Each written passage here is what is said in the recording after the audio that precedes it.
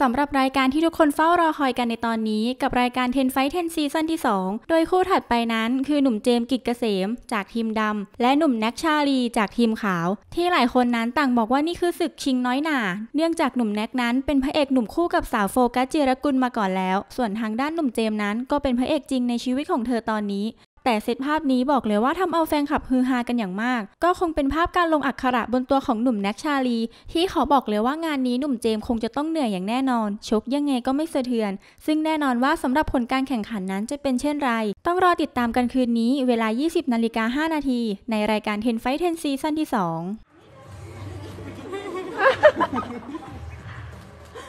มองมองกันหน่อยครับเกมจะ